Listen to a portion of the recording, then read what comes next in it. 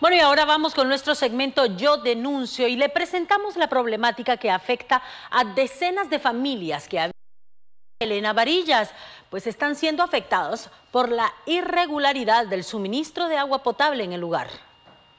Esta vez en nuestro segmento Yo Denuncio hemos viajado hasta la zona 1 de Santa Elena Varillas, en donde los vecinos están cansados debido a que indican que tienen más de seis meses que el servicio del agua potable es irregular. Se han quedado semanas sin poder recibir una gota de ello.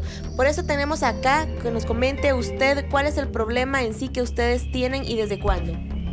Desde el mes de enero en eh, no tenemos agua, es irregular y no agarramos mucha agua y como ustedes se pueden dar cuenta, está encendido el chorro y no, no hay agua porque no la echan. Usted nos estaba comentando que desde la semana pasada no cae agua y solamente tienen este botecito para poder eh, sobrevivir. ¿Cuántas personas en esta familia? Ocho.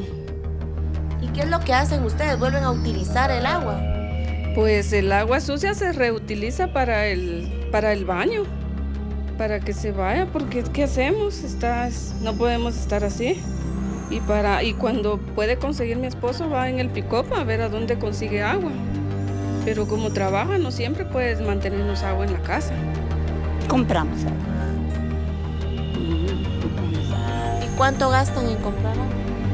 Este, 10 quetzales compramos así seguido. A 10 años cuando no tienen dinero, usted me estaba diciendo que lo que hacen es que con el agua de la lluvia. Ah, sí, todo más con el agua lluvia.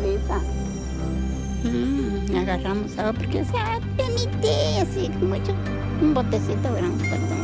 Una vez por semana. Y cuando se les termina lo que les dan, ¿qué hacen pues Nosotros la guardamos, la que nos cae, no, no lavamos así con la que nos cae, que cuando cae la, logramos lavar un poquito. Ya con la que nos cae la guardamos porque si no nos quedamos sin agua. Y si no, vamos a lavar ahí abajo. Al consultar a las autoridades indicaron que el problema se deriva del desprendimiento de la tubería de uno de los pozos más profundos que posee el municipio, pero que los trabajos continúan. Para mitigar la situación, pues nosotros hemos activado un pozo que está todavía en proceso de construcción, no está terminado al 100%, pero se ha activado al inicio se activó, como no teníamos la energía trifásica, eh, se activó con generadores eh, a diésel.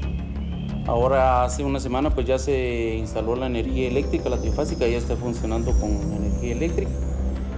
Y también abastecemos al, Santa Elena Varías pues con agua de, un pozo que se nos arruinó precisamente y de un nacimiento. La próxima semana la empresa que trabaja en el lugar dará un dictamen si es rescatable la tubería. De lo contrario, se estará iniciando el proceso para la perforación de un nuevo pozo. En tanto, los vecinos continuarán con el problema de la falta de agua. Y recuerde, si usted tiene algún tipo de denuncia que realizar, con toda confianza nos puede escribir a nuestro WhatsApp y nosotros estaremos llegando. Con imágenes de Werner Álvarez, reportó para el noticiero de los guatemaltecos Luisa Velázquez.